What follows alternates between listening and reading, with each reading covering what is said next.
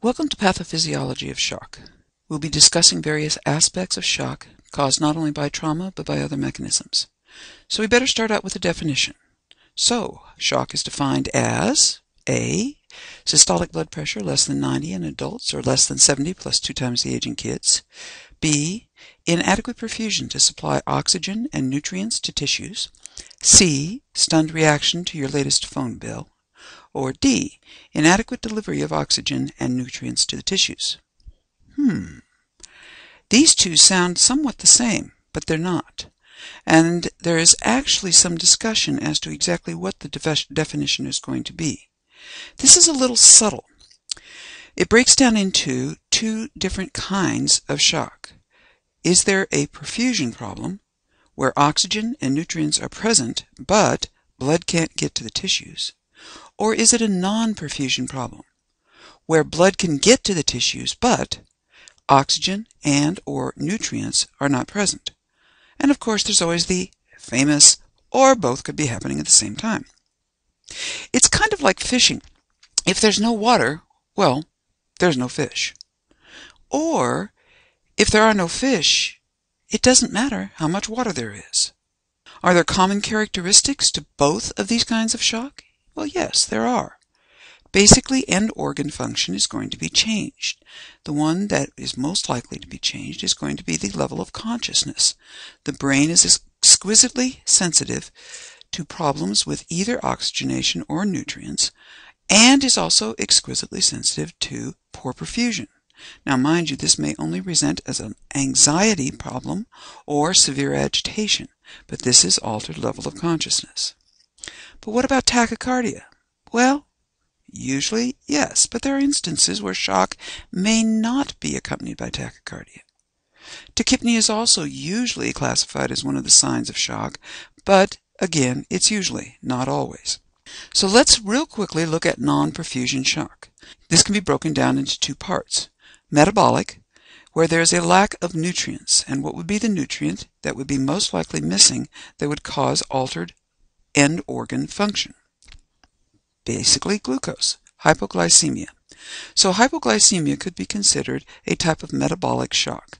Respiratory shock is the other one, where either there is either lack of oxygen or the ability to use the oxygen, or the, the patient is unable to remove CO2 from their bloodstream. So what might cause lack of oxygen or the ability to use it? Hypoxemia, absolute Carbon monoxide poisoning and cyanide are the three classic areas where there is either not enough oxygen in the blood or either the ability to transport or use it is compromised. And in terms of removing CO2, basically it is the inability to ventilate. It could be from hypoperfusion for other reasons also. When we talk about perfusion shock, we're going to be discussing four different classes of shock. These are hypovolemic, cardiogenic, obstructive, and distributive. In these cases, where there is lack of perfusion, the main problem that occurs at a cellular level is the fact that the cells become hypoxic. When the cells become hypoxic, what happens to the metabolism in the cells? It switches to anaerobic metabolism. And the byproduct of this will be lactic acid production. If the lactic acid is allowed to build up, the lactic the lactate level may be predictive of the mortality in this case. As the acidosis increases and as the lack of energy gets worse, there is damage to the mitochondria. And since the mitochondria are the source of the energy, this becomes an accelerating process. There is inadequate energy production already, and now it is getting worse. In addition, other organelles within the cells are damaged, specifically the lysosomes, which tend to break down intracellular material and the cell walls. When the cell walls are disrupted, the cellular ion shifts are disrupted, specifically the sodium potassium pump and calcium shifts that normally occur for cells to function. When the sodium potassium pump fails, sodium is allowed to leak into the cell. water follows the sodium, putting pressure inside the cell on the cell membrane which has already been disrupted. This fluid shift, which may be either in or out but is usually inward, will disrupt the cell wall and cause cell death. One of the types of perfusion shock does have a special case. This is sepsis. Sepsis is caused by a primary immune inflammatory cascade caused by a bac- usually bacterial infection. In this case, cytotoxic mediators are released, and cytotoxic means they're going to kill the cells directly. So we cause direct cellular damage. This is the case where shock actually follows the damage, but then the shock actually increases the damage in and of itself. The fluid shifts that occur are twofold. First of all, the water may shift in between fluid spaces. This specifically occurs when there is lack of volume in one of the fluid spaces. As the water shifts, this can aggravate volume loss, specifically intravascularly. Vessel integrity may also be lost. This occurs primarily in septic and anaphylactic shock. It will occur in all forms of shock eventually. Because of this vessel integrity being lost, the vessels will leak fluids. This can aggravate or add to the total body hypovolemia or the intravascular hypovolemia. In addition, the protein that leaks out through these walls can coagulate in the interstitial and in the intravascular space. So how does the body respond to shock? Unfortunately, its major responses should which should help in the face of shock may eventually cause more problems. The first thing that occurs is adrenal stimulation with the release of epinephrine and norepinephrine. These cause vasoconstriction if it is possible to do so. In some cases it is not. And this would be primarily an alpha 1 response. In addition, because epinephrine and norepinephrine also have beta 1 properties, there is increase, or at least an attempt to increase, cardiac output from the beta 1 response. Vasoconstriction is also caused by other means, specifically renal hypoperfusion, either from lack of volume to the kidneys or from the vasoconstriction from the adrenal stimulation, will activate the renin-angiotensin system. Mm, you remember what that is? Okay, let's review it. Renin is released from the kidneys. It converts angiotensinogen to angiotensin 1. Angiotensin 1 is converted in the lungs to angiotensin 2. Angiotensin 2 is a potent vasoconstrictor in and of itself. In addition, it stimulates the release of aldosterone, which is not only a vasoconstrictor, but also retains sodium in the urine, therefore decreasing urinary output and retaining fluid. Another factor that occurs is ADH release from the pituitary. Although this isn't a primary vasoconstrictor at the doses released from the pituitary, what it does cause is restriction of sodium excretion in the kidneys, again retaining fluids. The vasoconstriction actually may decrease perfusion, aggravating the shock in local areas. In addition, the inflammatory response will be initiated. This cascade can in initiate problems that can extend to multiple organs and be very severe. Generally speaking, mild shock, although it initiates this cascade, does not cause severe problems, but any secondary shock after that will in cause a massive inflammatory cascade. There will be local vasoconstriction, and this may be spotty throughout the organs. There may be thrombosis within the vessels or within the organs themselves. These two combine lead to re regional malperfusion within the organs, and there is release of superoxide radicals which directly damage cells and organs. And all of this combines to cause more cell damage. So this inflammatory cascade actually causes more damage than the initial shock itself.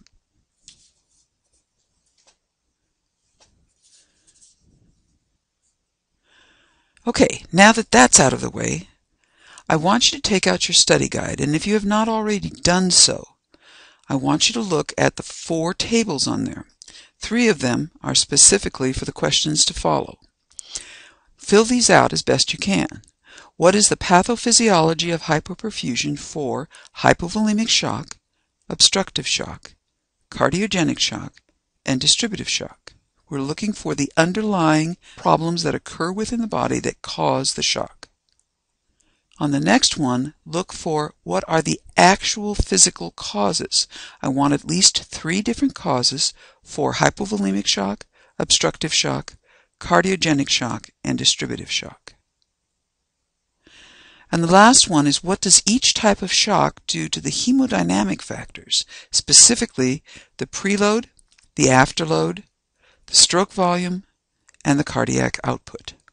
I suggest you pause this video at this time and go ahead and fill those out before we proceed.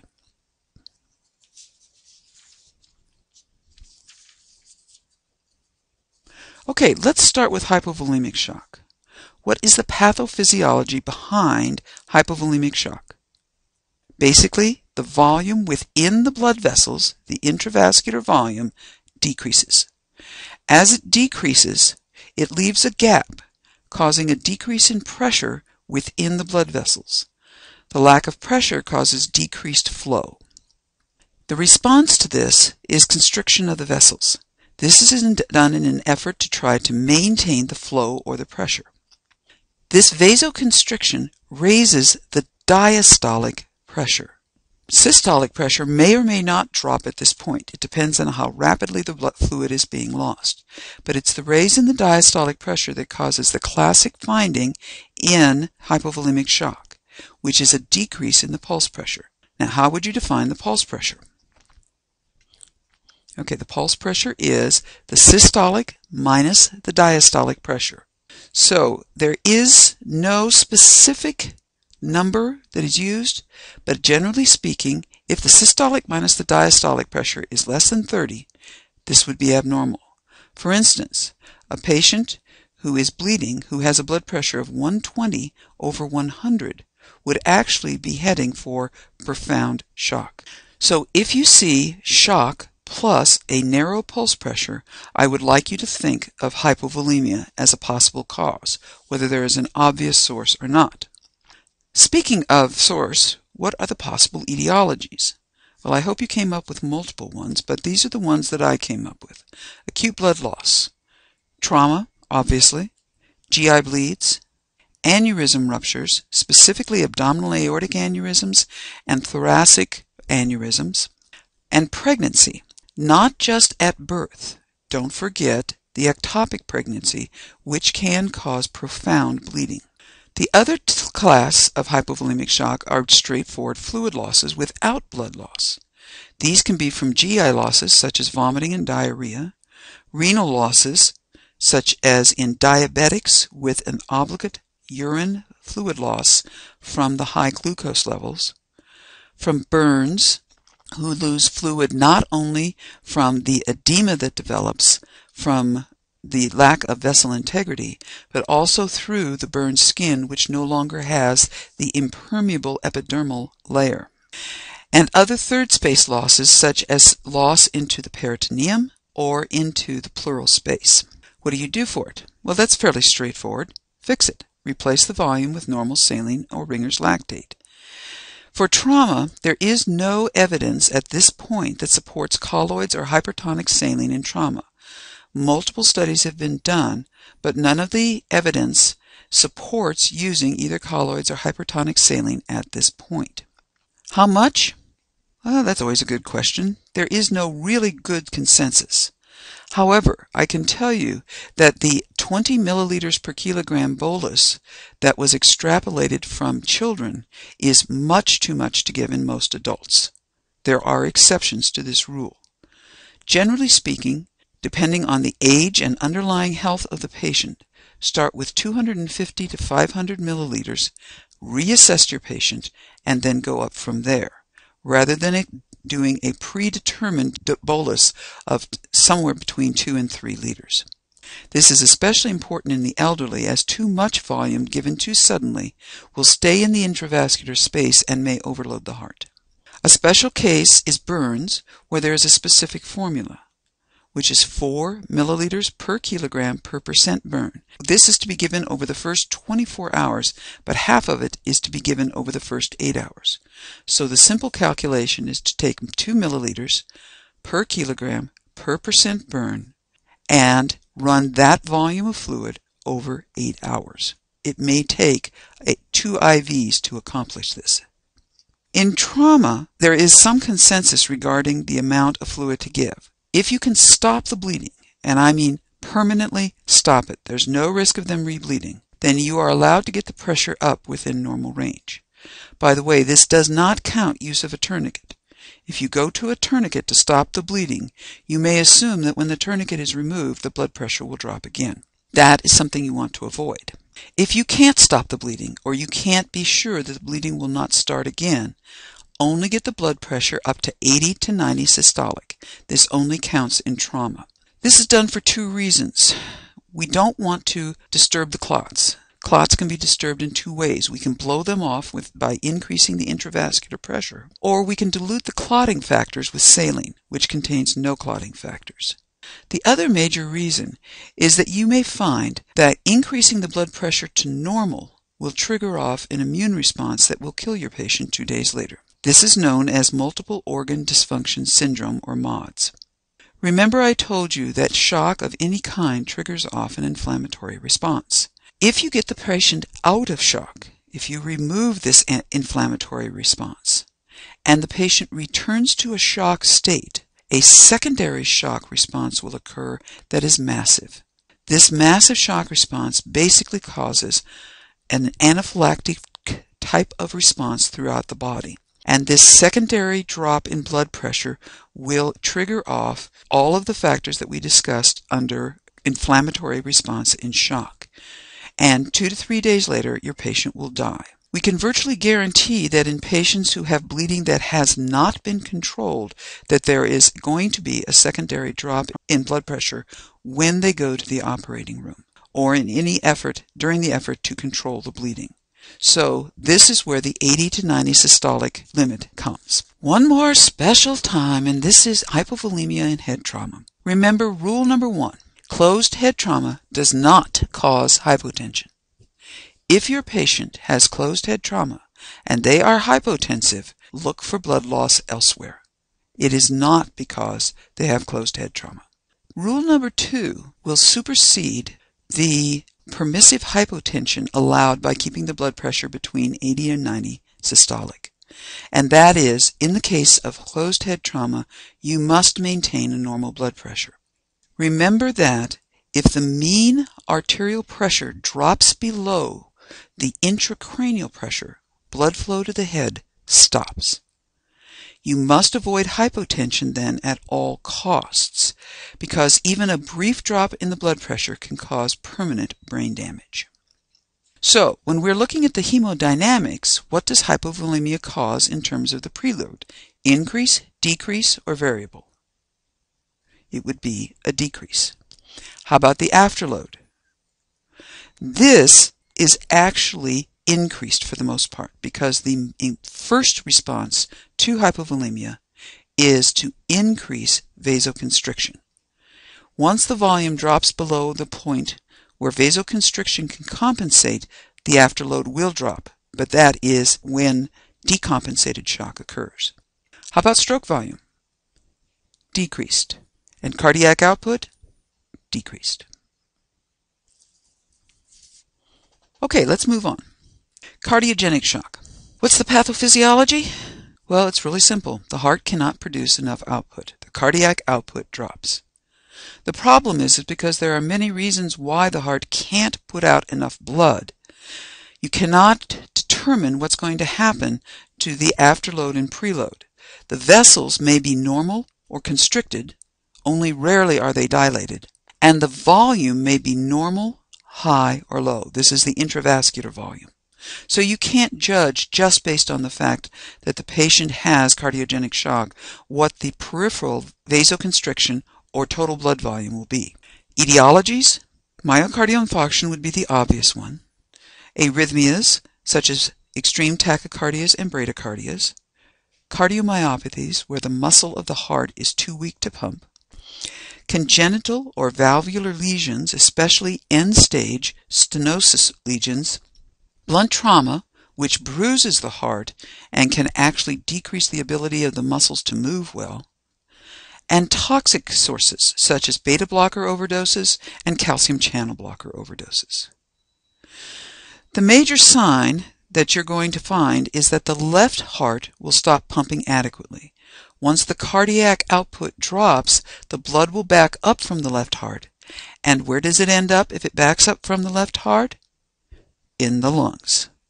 So the primary sign will be pulmonary edema. And the signs and symptoms you'll be seeing in addition to the other signs of shock will be dyspnea, hypoxia, which can be severe, rales or crackles, and frothy sputum, which is usually white. It isn't until their end stage that it turns pink. One important point.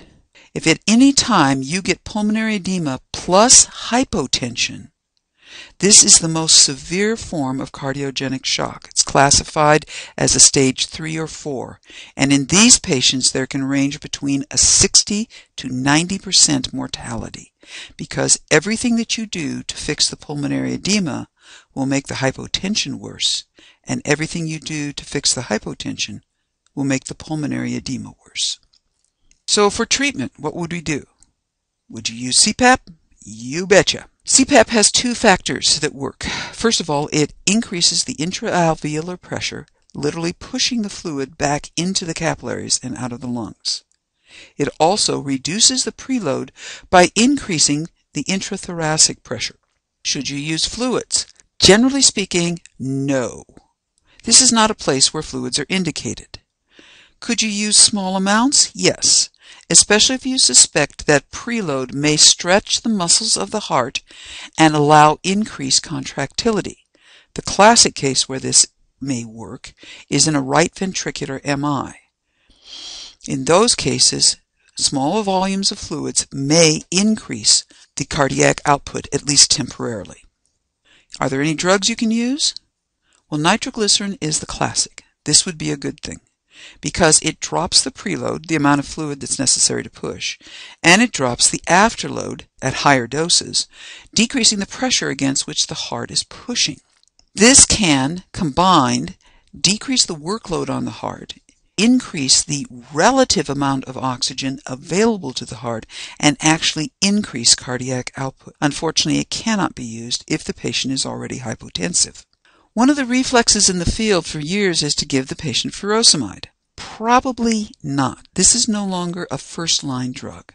And the reason is because if they have been on it for any length of time, if you look at their vessel parameters, which you cannot do directly in the field, they are intravascularly dry. Their kidneys have already taken out all the volume they can. The kidneys shut down at that point, and furosemide cannot work unless there's blood flow to the kidneys. If they have never been on furosemide, it is acceptable to attempt it. Usually a dose of 40 milligrams will do the job. Morphine is another standby that has been used for years, but we are probably not going to use it now. And the reason is that these patients are in desperate respiratory distress. And there is a risk of respiratory depression which can outweigh the benefit of the sedation that accompanies morphine. What else could we possibly use? Well, let's try an inotropic agent. Now, remember that what we don't want to do is vasoconstrict the patient. So don't use something that would cause increase in vasoconstriction. An alpha 1 agent is not indicated. What do you need? You need a beta 1 agent. For this, you probably are going to use dopamine and you're going to stay in the low dose range. 5 to 10 micrograms per kilogram per minute. You can even go down as low as 3. Watch out. Once you get down to 3, you may drop the blood pressure slightly. So let's look at the hemodynamics in cardiogenic. Preload. Increased? Decreased? Generally speaking, it's variable we don't know what the preload is. It may be normal or it may be high. How about afterload? generally speaking, markedly increased. Most of these people have incredibly high blood pressures. Stroke volume decreased. I mean, that's after all what we're talking about, isn't it? And the cardiac output decreased by definition. In distributive shock, the pathophysiology is fairly straightforward, but it causes profound problems. Instead of the actual volume within the blood vessels changing, the size of the blood vessel changes by causing massive vasodilation. In this case, it's not that we have less fluid, there is simply not enough fluid to fill up the bigger tank. Here the primary sign is warm shock. The skin is not cool and clammy as we would expect from hypovolemic shock. What are the causes of distributive shock? Well, this is where people tend to try to separate out different kinds of shock that are, are actually different causes, because these are all distributive. The three types of distributive shock are neurogenic, septic, and anaphylactic. They all have vasodilation. They all share the warm or flushed skin. In neurogenic shock, there is transection or severe damage to the spinal cord, usually above T6 or so. The problem is that the sympathetic nervous system comes off the spinal cord in the thoracic area. So any transection at or above this level will tend to take out the normal sympathetic tone to the blood vessels in your body. This sympathetic tone causes vasoconstriction. Once you lose it, your body vasodilates. This loss of sympathetic innervation is immediate and can cause severe hypotension. Later, they become hyperreactive and can cause hypertension. In septic shock, there is an excessive immune reaction to infection. Again, this is almost like a severe anaphylactic reaction. It is usually caused by bacterial, rarely by fungal or viral infections. Anaphylactic shock is caused by an immune response that is excessive, and the specific problem that causes the vasodilation is the histamine release that accompanies this immune response.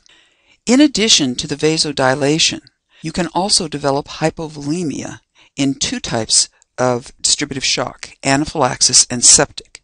The reason is because both of these cause the capillaries to leak. There is fluid loss third spacing, into the interstitial fluid, and it can also go into other spaces such as the peritoneal and pleural space. Therefore, there is an absolute need for more fluids in addition to the volume simply needed to fill up the increased space. Treatment? Well, this is fairly straightforward. Give them more fluids. We've got to fill up this enlarged tank. Again, there is no consensus on the volume except, aha, a rule. This will help.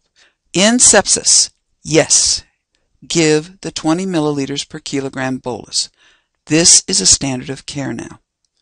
It has been found that if we can get this volume on board rapidly, and it may take two or three boluses like this to do the job, we can save lives. This will be initiated under a septic shock protocol, which will be part of your protocols in the field. In this case, you do want to return the pressure to normal without overloading the patient. There are other treatments that you can use specifically for anaphylaxis. What is the drug that is the drug of choice for anaphylaxis? Epinephrine. Very straightforward. In adults, you're going to give 0.3 to 0.5 milligrams 1 to 1000 IM. If you need to go to an IV bolus, remember this should only happen if the patient is hypotensive. Go, use 0.1 milligram of 1 to 10,000 IV titrated. In pediatrics, you're going to use 0.01 milligrams per kilogram of 1 to 1000 IM, 1 to 10,000 IV. Additional treatment in anaphylaxis well, we want to stop the histamine response, so we're going to use an antihistamine, and the one you're going to use is diphenhydramine. There are other ones that are used, but this is the one that does the best job because it hits the histamine 1 receptors, which are the baddies in this particular response. This will stop the histamine reaction from getting any worse. It cannot fix the problem, however, and will take time for the body to overcome the histamine reaction that occurs. Steroids are also used, usually methylprednisolone, but remember this is not the first line treatment as they will take several hours to have full effect. In the other forms of distributive shock, if the fluid doesn't work, you should consider a vasopressor. Now in this case, we do want to vasoconstrict. This is a vasodilation problem after all. So we do not want to use an inotropic agent. You need an alpha-1 agent. The drug that is the best is norepinephrine, but it's not usually available. But you do have dopamine and it will work. You just have to use high dose levels, usually 10 or more micrograms per kilogram per minute. Remember that you will markedly increase both the heart rate and the automaticity, i.e. the irritability of the heart, when you use this level of dopamine. Another choice is to use an epinephrine drip. In adults, this would be 2 to 10 micrograms per minute, and in a child, 0.1 to 1 micrograms per kilogram per minute. There is a caution with using norepinephrine specifically in neurogenic shock. And the reason, or any other vasopressor for that matter. And the reason is because even low dose vasopressors can cause dangerous hypertension. These receptors on the, on the vessels have been deprived of stimulation. During a period of time, they become excessively sensitive then to any exposure to a vasopressor and will overreact, causing hypertension. So let's look at the hemodynamics for distributive shock. Preload. Well, it's going to go down because you don't all, don't dilate just the arteries, you also dilate the veins. How about the afterload? Markedly decreased. This will go way down. Stroke volume? Variable.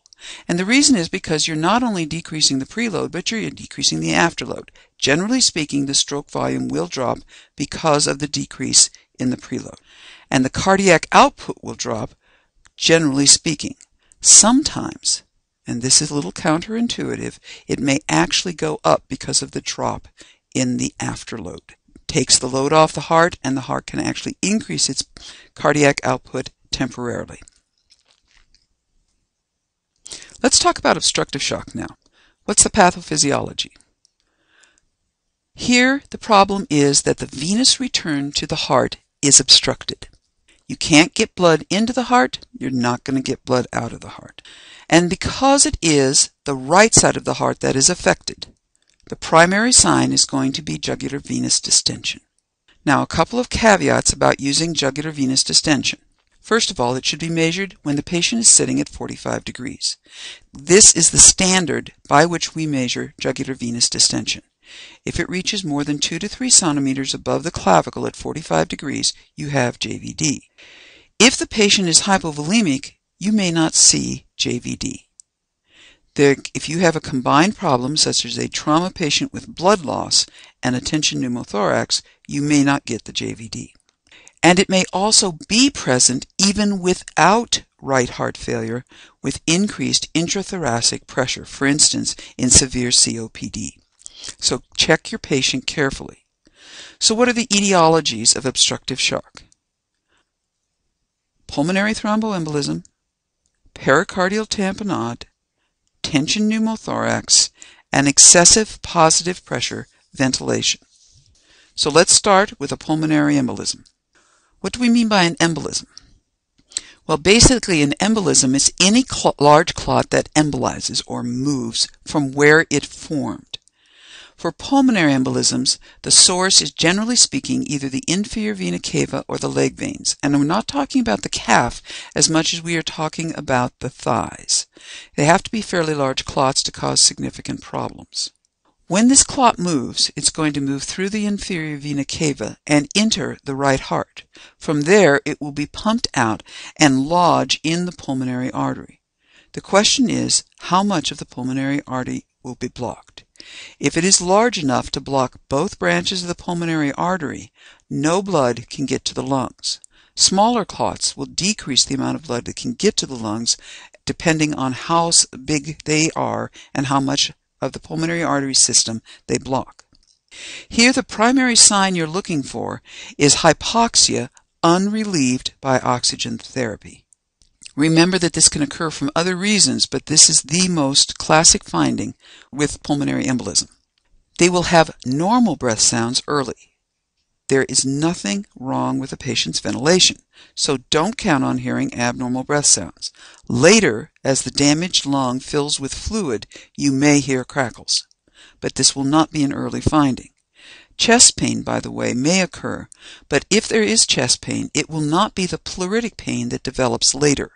Early on, the chest pain sounds like classic angina from the stress on the right heart. An EKG finding that can be associated with pulmonary embolism is S1, Q3, T3, a deep S in 1, a Q in lead 3, and an inverted T wave in lead 3. Unfortunately, this is neither specific nor sensitive. It causes false positives and false negatives. So you can't count on it. You have to look at the rest of your patient to decide what is happening. What treatment do you have? Well, unfortunately, there's only one move. You have to get the patient to the hospital. There is nothing else you can do in the field. You can try a fluid bolus. Sometimes there is absolutely nothing we can do in the hospital. If you look here, this is a postmortem picture, and this is the pulmonary artery. Here's the pulmonary valve right there. And this is a clot completely filling up both the right and the left pulmonary arteries. Obviously, this patient died immediately. Another cause of obstructive shock, pericardial tamponade. Here there is a fluid accumulation in the pericardial sac, which is around the heart, and compresses the heart, specifically the atria. This does not allow the heart to fill and decreases the blood return to the heart. The primary sign here is going to be muffled or no heart tones. Reminding you that if the patient is in cardiac arrest and is in ventricular fibrillation or in asystole, you won't hear heart tones either. They should have, if they are still awake and talking to you, potential cause for pericardial effusion. The common causes for pericardial effusion include trauma, the most likely finding, cancer, fluid overload, especially from renal failure, and occasionally severe bacterial or other infections. If you suspect tamponade, the problem is pressure on the outside of the heart and the way to fix it is to put fluid on the inside of the heart. So give a fluid bolus. Usually 250 to 500 mLs will do the job. You should get a temporary return in blood flow and an easing of the patient's symptoms. It will be temporary, however, but it may buy you 5 to 10 minutes and it can be repeated. Yet the next step is obviously emergent transport because no, you can't do a pericardiocentesis. Sorry. The last cause we're going to talk about is a tension pneumothorax. In this case, the air accumulates in the pleural space, around the lungs, not within the lungs. This shifts the mediastinum. As it shifts the mediastinum, it kinks the vena cava, especially the inferior vena cava, over the diaphragm, cutting off the blood flow from the lower half of the body. In addition, it push, pre puts pressure on the heart, especially on the right atrium and ventricle. In this case, again, we can't get blood back into the right heart. Here, the primary signs are fairly obvious. Breath sounds will be absent. Remember that they may be bilateral. It will be worse with positive pressure ventilation because positive pressure ventilation pushes air into a tension pneumothorax and does not allow its release. Treatment? Well, for you, try the normal saline or ringer lactate if that's in your protocol, but you have needle decompression. Do it. Get the air out. Let's look at the hemodynamics for obstructive shock. Preload, markedly decreased. This is the problem. No blood in, no blood out. Afterload is probably going to be variable. Most of the time it's increased because of the body's response to the low cardiac output. Stroke volume, markedly decreased, cardiac output decreased. In summary, let's review the perfusion classes and their classic findings. Hypovolemia, narrow pulse pressure. Cardiogenic, pulmonary edema. Distributive, warm, flushed skin. Obstructive, jugular venous distension. What specific findings might you see that would be consistent with, let's say, hypovolemic shock? Well, obviously, there would be a source of blood or fluid loss. You'll see the cool, clammy skin. How about cardiogenic shock? In addition to the pulmonary edema, they will almost undoubtedly have chest pain. They may have ECG changes, but they may be old. They may have the frothy sputum, but remember it will not be pink until they're almost end stage. This occurs when the capillaries literally rupture from the increased pressure within them. In septic shock, there should be a source or a risk of infection. And remember that the people who are at highest risk for infection will be your elderly, your diabetics, your infants, and anybody who has has immune suppression. Specifically, those patients with HIV, AIDS, or people who are on chemotherapy or have other immune response suppression from the drugs that they are taking. You can also look from, for edema from vascular leak, but this is a late finding. Neurogenic shock, the classic finding is going to be the demarcation between the level above the cord disruption and below. Above the level of cord disruption, where the sympathetic system is still working, they will be cool and clammy.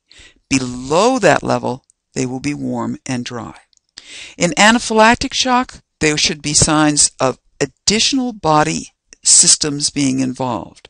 For instance, bronchoconstriction with wheezing, upper airway cell swelling with stridor, vomiting or diarrhea, always a very bad sign because this means it's gone systemic, and severe edema, which may present as diffuse hives or simply total body swelling. Specific findings for obstructive shock besides the JVD, you should have some sort of history compatible with an obstructive process. If there is no JVD and you do have a history compatible with an obstructive process and other signs or symptoms that make you think that this is what's going on, first of all, you should be giving a fluid bolus. In trauma, you must consider the fact that the patient may be hypovolemic. Generally speaking, what are you going to do for shock? Fluids. Except, except, except, except cardiogenic. Use judiciously. Please don't reflexly give fluids to a patient with cardiogenic shock. Remember, they will be tachycardic from the shock itself. Giving fluids may not help them. If they're bleeding, stop it. That was easy. If you can stop it, give fluids. If you can't stop it, use permissive hypotension. In other cases, once you fill up the tank and you still can't get the blood pressure up to normal, consider using a vasoconstrictor, especially in which kind of shock? Distributive. Remember that you have already used a vasoconstrictor when you have given epinephrine in anaphylaxis, and you should not normally need a secondary uh, vasoconstrictor. It is not a first choice, however, to use vasoconstrictors in cardiogenic shock. Here you want an inotropic agent Basically, you want to use a beta 1 agonist. In obstructive cardiogenic shock, just try to fix whatever the problem is if you can. Questions? You can email me or call me.